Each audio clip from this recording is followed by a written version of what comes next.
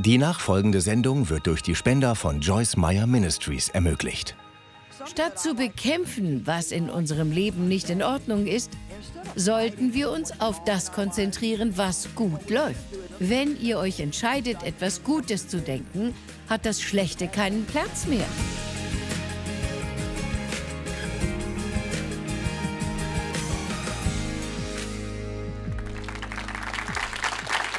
Willkommen bei Das Leben genießen. Danke, dass ihr heute dabei seid. Ich sage oft, wenn ihr dem Wort Gottes den ersten Platz in eurem Leben einräumt, werdet ihr feststellen, dass ihr jeden Tag viel mehr genießen könnt. Wir sollten die Bibel allerdings nicht nur lesen, sondern sie wirklich studieren. Heute wollen wir Sprüche Kapitel 3 gemeinsam studieren. Vielleicht schlagt ihr manchmal die Bibel auf und wisst nicht so recht, was ihr lesen oder studieren sollt. Ich lese dann immer im Buch der Sprüche das Kapitel, das demjenigen Tagesdatum entspricht. Das Buch besteht aus 31 Kapiteln, also eines für jeden Tag des Monats. Das könnt ihr immer dann tun, wenn ihr keine andere Idee habt. In Sprüche Kapitel 3 stecken mehr als 15 verschiedene Lebensweisheiten. Sollte die Zeit hier nicht reichen, um sie alle zu besprechen, was sehr wahrscheinlich ist, fordere ich euch heraus, nehmt euch einen Block und einen Stift und lest das Kapitel zu Hause noch einmal durch und seht, ob ihr herausfinden könnt, worin diese 15 Lebensweisheiten bestehen. Sprüche 3, Verse 1 und 2. Mein Sohn, Vergiss nicht, was ich dich gelehrt habe. Bewahre meine Gebote in deinem Herzen.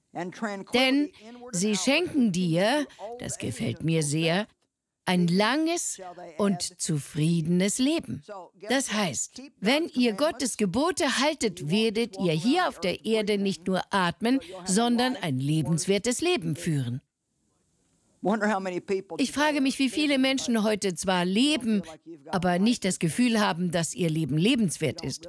Ihnen gefällt ihr Leben nicht. Vielleicht hassen sie es sogar. Aber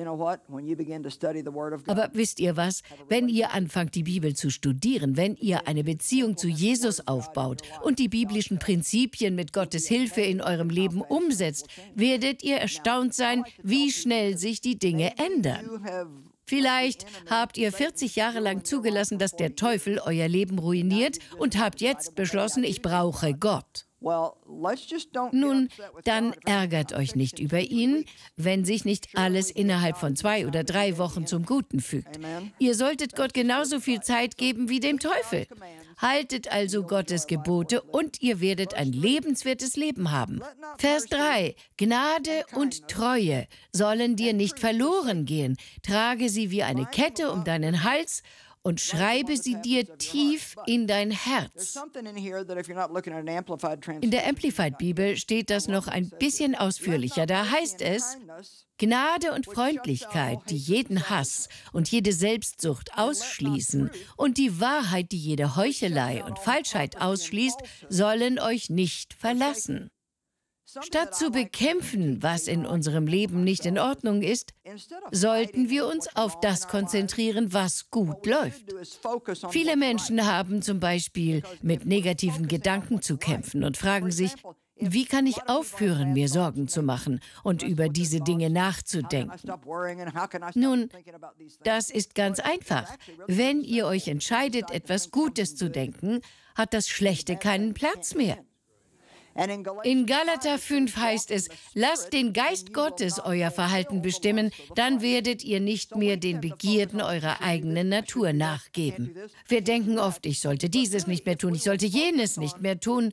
Wenn wir uns jedoch darauf konzentrieren würden, Gott zu ehren und unser Verhalten vom Heiligen Geist bestimmen zu lassen, hat das Schlechte keinen Platz mehr. Ich glaube, das ist ein wichtiger Punkt, weil wir dazu neigen, uns auf das Negative zu konzentrieren. Aber wenn wir uns auf das Positive konzentrieren, bleibt das Negative außen vor. Hier in Sprüche 3 heißt es also, wenn ihr euch darauf konzentriert, gnädig und freundlich zu sein, wird in eurem Leben kein Raum mehr für Hass und Selbstsucht sein. Ihr müsst also nicht sagen, ich werde heute alles dran setzen, um nicht selbstsüchtig zu sein. Nein, sagt stattdessen, ich werde mich auf das konzentrieren, was in Gottes Augen richtig ist. Und alles andere findet in meinem Leben keinen Raum mehr. Ist das nicht gut?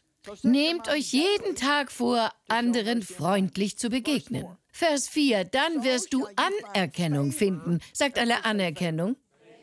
Die Welt hofft auf Glück, aber wir bekommen Gunst und Anerkennung von Gott. Das ist so viel besser. Die Menschen wünschen einem oft viel Glück. Und ich denke dann immer, ich brauche kein Glück. Glück ist vergleichbar mit dem Würfeln. Man wartet ab, was passiert, und wenn es gut läuft, steht man gut da. Die Bibel sagt hingegen, wenn wir mit Gott leben und sein Wort an die erste Stelle setzen, haben wir Gunst bei Gott. Er schenkt uns dann auch Gunst bei den Menschen. Wisst ihr, wie kostbar Gunst ist? Wisst ihr, was das bedeutet? Die Menschen werden euch mögen und nicht einmal wissen, warum. Türen werden plötzlich für euch aufgehen und das nur, weil Gott euch seine Gunst schenkt. Das passiert nicht, weil ihr Glück habt. Nein. Gott hat euch Gunst geschenkt. Ist das nicht gut? Wenn ich heute auf einige schwierige Entscheidungen zurückblicke, zu denen Gott mich geführt hat, sehe ich die Gunst, die er mir geschenkt hat. Ich hatte einmal einen Chef, der mich aufforderte, etwas zu tun, das falsch war. Ich glaubte bereits an Jesus und wusste, dass das nicht in Ordnung war. Obwohl ich befürchtete, meine Arbeitsstelle zu verlieren, sagte ich, es tut mir leid, aber ich kann das nicht tun. In den daraufliegenden Jahren wurde ich immer wieder befördert, bis es nur noch eine Person in dieser Firma gab, die mehr Autorität hatte als ich und das war dieser Mann. Wisst ihr was? Ich tat, was richtig war, obwohl ich damit das Risiko einging, meinen Arbeitsplatz zu verlieren. Aber weil ich Gott an die erste Stelle setzte, schenkte er mir Gunst. Schlussendlich hatte ich eine Position, für die ich eigentlich nicht qualifiziert war. Aber Gott kann uns befähigen, Dinge zu tun, auch wenn wir keine Ahnung davon haben. Versteht ihr? Dann wirst du freundlich und klug werden und Anerkennung bei Gott und den Menschen finden. Die Verse 5 bis 8. Wir könnten den ganzen Tag hier bleiben. Vertraue von ganzem Herzen auf den Herrn und verlass dich nicht auf deinen Verstand. Es ist unsinnig zu sagen, ich vertraue Gott von ganzem Herzen, während ihr euch gleichzeitig Sorgen macht. Es heißt hier, dass wir Gott von ganzem Herzen vertrauen und uns nicht auf unseren Verstand verlassen sollen. Wir müssen also in unseren Herzen glauben, dass Gott uns helfen wird und dann mit seiner Hilfe unsere Gedanken in die richtige Richtung lenken und ihm auch mit unserem Verstand vertrauen. Bilde dir nichts auf deine Weisheit ein, sondern fürchte den Herrn und meide das Böse. Wir gehen den Dingen gern auf den Grund, oder? Ich glaube, wenn wir ein Problem haben, ist oft das Schlimmste daran, dass wir nicht wissen, wann und wie es gelöst wird. Die meisten von uns wären begeistert, wenn Gott sagen würde, du wirst dieses Problem nur siebeneinhalb Tage haben. Am siebten Tag um die Mittagszeit werde ich es lösen. Bis dann möchte ich, dass du eine gute Einstellung bewahrst und zuversichtlich bleibst. Wäre das nicht gut? Aber so läuft es nicht. Und dann kommt der Teufel auch noch mit seinen Lügen. Das wird sich nie ändern. Es wird immer so bleiben. Was ist, wenn du diesen Schmerz für immer aushalten musst, wenn du dich ab jetzt immer so fühlen wirst, wenn du nie Erfolg haben wirst? Ich nenne sie die immer und ewig und niemals wieder Lügen. Das wird sich nie ändern und du wirst immer und ewig so sein, wie du bist. Übermäßiges Nachdenken stiftet Verwirrung. Diese Erkenntnis hat mir vor vielen Jahren sehr geholfen. Obwohl ich Jesus zu diesem Zeitpunkt schon kannte und auch Gottes Wort bereits lehrte, war ich oft verwirrt.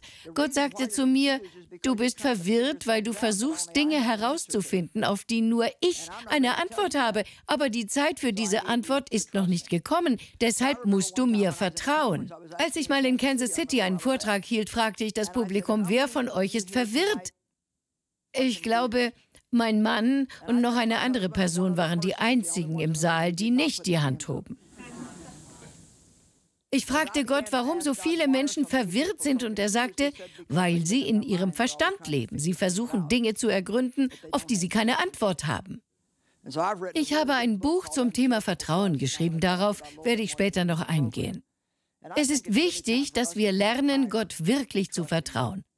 Gestern gab ich ein Interview und die Moderatorin fragte, wie schaffen Sie es, Gott zu vertrauen, wenn Sie ein Problem haben und nicht wissen, wie Sie es lösen können, oder wenn Sie es schon sehr lange haben?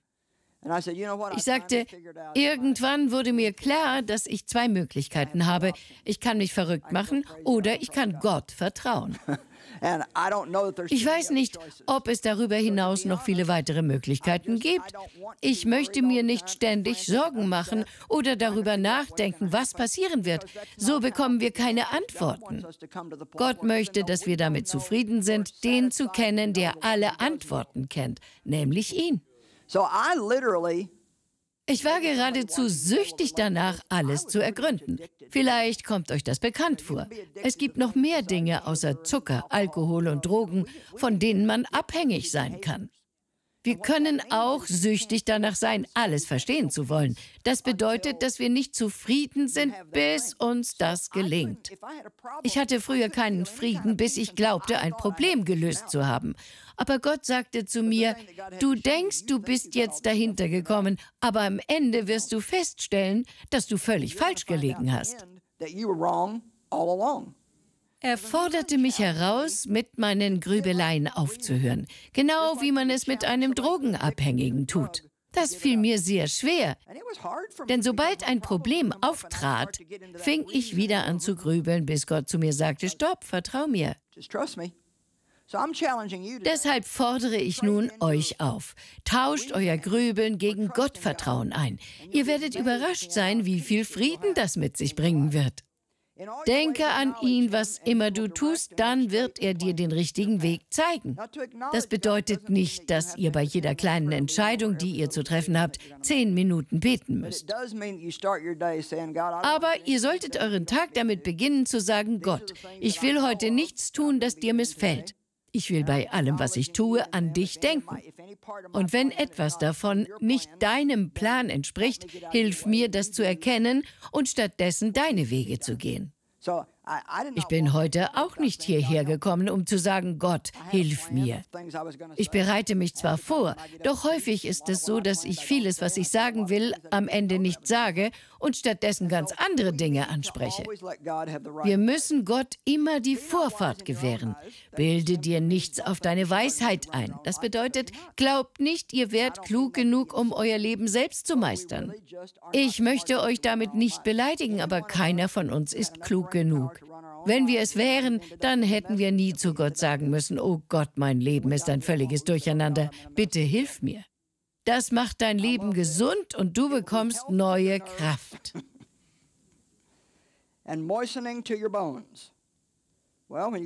Wenn ihr ein bisschen älter werdet, fangen eure Knochen an zu ächzen.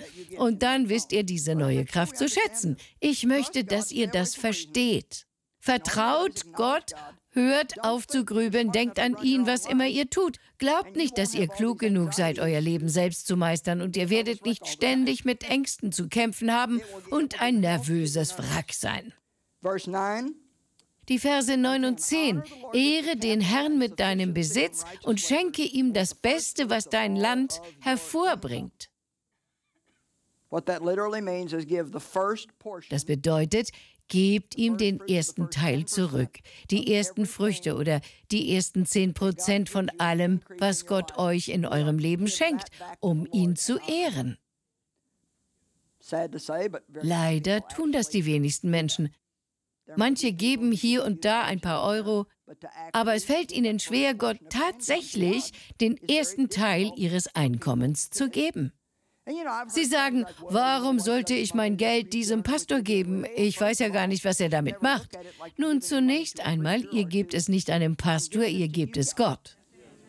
Natürlich tut ihr das, indem ihr es einer Person gebt, der ihr vertraut, dass sie ihrer Verantwortung nachkommt und angemessen damit umgeht.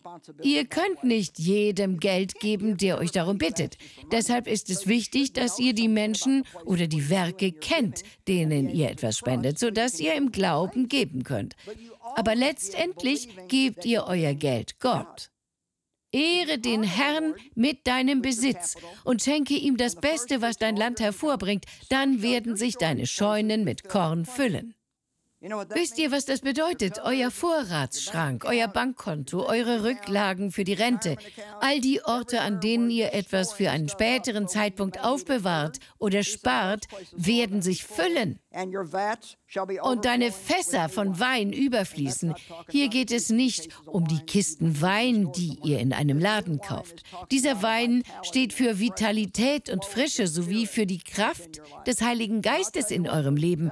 Es gibt nichts Besseres, als mit dem Heiligen Geist erfüllt zu sein. Wenn der Heilige Geist in eurem Leben fließt, spürt ihr Gottes Gegenwart und wisst, dass er an euch arbeitet. Das gibt euch Energie, es gibt euch Kraft, es gibt euch Freude in schwierigen Umständen. Es gibt euch den Frieden, der weit über alles Verstehen hinausgeht. Ich möchte euch noch einen Vers über das Geben vorlesen, weil ich weiß, dass das für manche Menschen ein schwieriges Thema ist. Aber wisst ihr, Gott braucht euer Geld nicht. Überall geht es um Geld. Der einzige Ort, wo Menschen sich daran stören, ist in der Kirche. Das macht doch keinen Sinn, oder? Es kostet genauso viel Geld, eine Kirche oder ein Werk zu unterhalten, wie alles andere. Ihr solltet froh sein, dass ihr dort nicht nur gebt, sondern investiert. Was ihr Gott gebt, kommt um ein Vielfaches zu euch zurück. Also noch zwei weitere Verse, Maleachi 3, Verse 10 und 11. Bringt den kompletten zehnten Teil eurer Ernte ins Vorratshaus, damit es in meinem Tempel genügend Nahrung gibt. Stellt mich doch damit auf die Probe, spricht der allmächtige Gott, ob ich nicht die Fenster des Himmels für euch öffnen und euch mit unzähligen Segnungen überschütten werde. Das will ich nicht verpassen. Gott sagt nicht, wenn ihr Glück habt, werde ich ein bisschen Segen auf euch tröpfeln. Nein, Gott verheißt uns Gunst, wenn wir ihm gehorchen. Ich werde die Fenster des Himmels für euch öffnen und euch mit unzähligen Segnungen überschütten. Was bedeutet nun unzählig? Es bedeutet nicht, dass es mehr sind, als ihr bewältigen könnt. Es bedeutet, dass ihr einfach nicht fassen könnt, wie gesegnet ihr seid. Es ist eine erstaunliche Verheißung und dann geht es weiter. Euretwegen werde ich den Fresser bedrohen. Sprüche 3, Verse 11 und 12. Mein Sohn, lehne dich nicht dagegen auf, wenn der Herr dich zurechtweist und lass dich dadurch nicht entmutigen. Diesen Vers mögen wir nicht. Wir denken, Moment mal, hm, wisst ihr, als meine Kinder klein waren, habe ich ihnen gesagt, was sie tun sollen. Wenn sie nicht auf mich gehört haben, habe ich ihre Umstände verändert. Wer von euch weiß, was ich meine? Gott sagt uns in seinem Wort, was wir tun sollen. Aber wenn wir nicht auf ihn hören, liebt er uns genug, um unsere Umstände zu verändern. Dafür sollten wir ihm danken. Menschen lernen nichts, wenn es in ihrem Leben immer nur Rosen regnet, ganz gleich, was sie falsch machen. Manchmal müssen wir die Folgen schlechter Entscheidungen zu spüren bekommen. Wenn ihr euren Kindern immer nur zu Hilfe eilt und sie nie zur Rechenschaft zieht, werden sie mit 40 immer noch verzogene Gören sein. Wenn ihr sie liebt, solltet ihr zu ihnen sagen, ich habe versucht, mit dir darüber zu reden, aber du hast nicht hingehört. Ich liebe dich, ich bin für dich da und ich bin dein Freund, aber ich werde dir nicht aus diesem Schlamassel heraushelfen. Vielleicht ist das der einzige Weg, wie sie etwas lernen, versteht ihr? Denn der Herr weist die zurecht, die er liebt.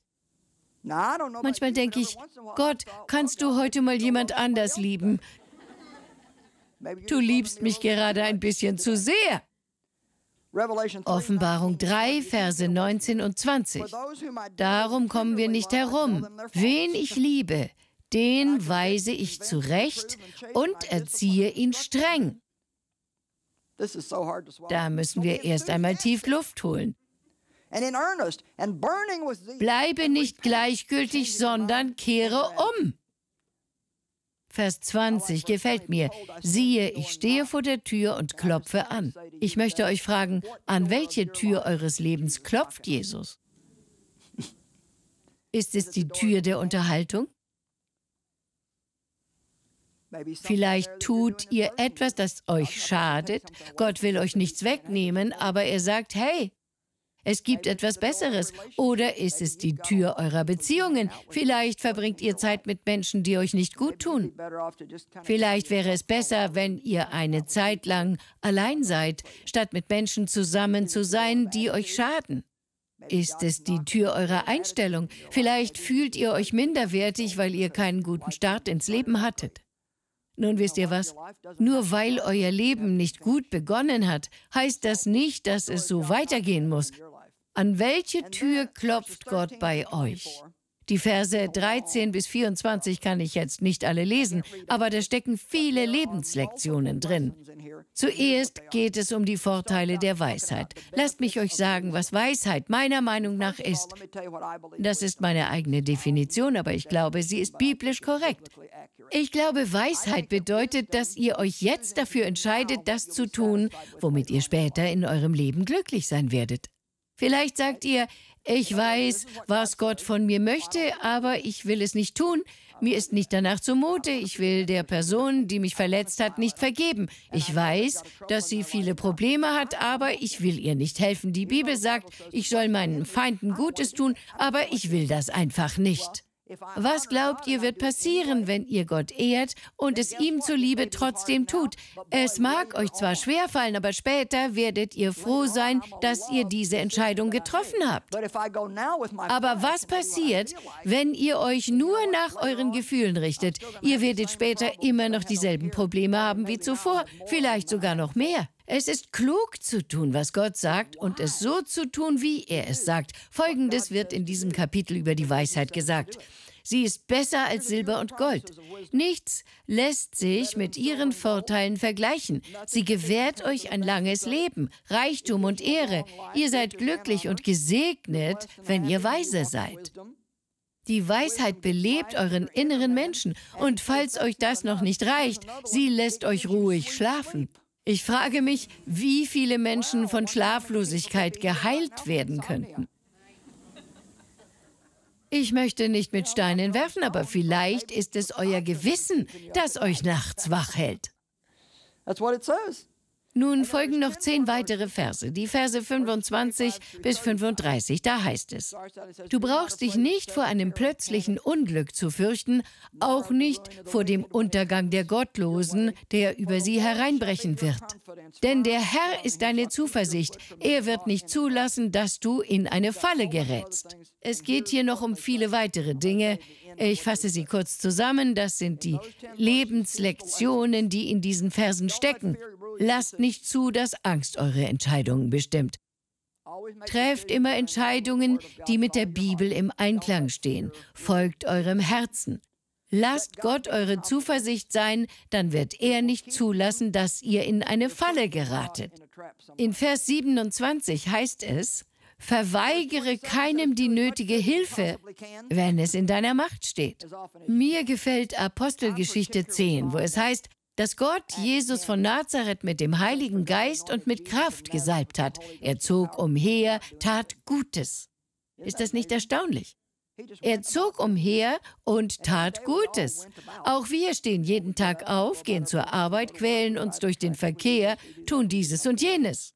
Aber ich fordere euch heraus, jeden Tag zu sagen, Gott, ich möchte heute so vielen Menschen wie möglich etwas Gutes tun. Tut so vielen Menschen wie möglich etwas Gutes, und zwar so oft ihr es könnt. Dann werdet ihr ein lebenswertes Leben haben.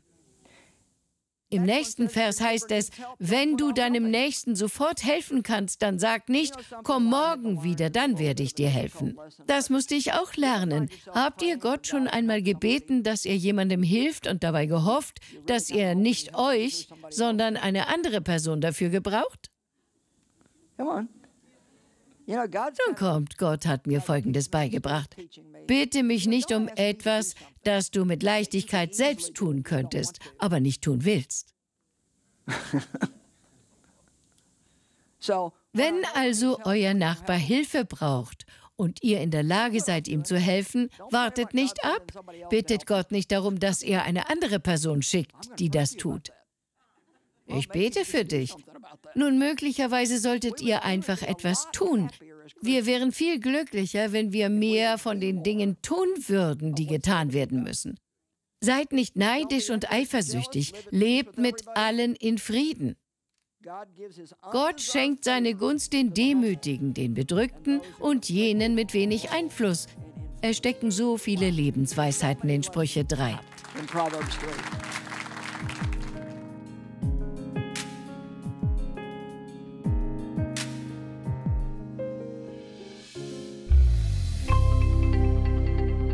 Möchten Sie mehr wissen über unsere Arbeit? Rufen Sie uns an. Wir freuen uns, von Ihnen zu hören.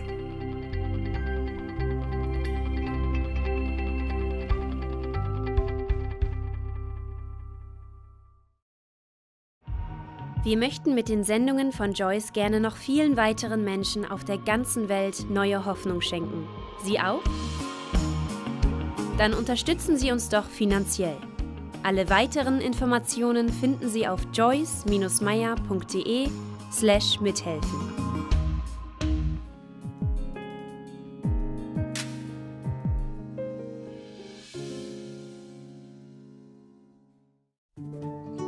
Schon über 25.000 verkaufte Exemplare. Diese Bibel mit Impulsen von Joyce Meyer möchte Ihnen helfen, die biblischen Texte und Geschichten besser zu verstehen.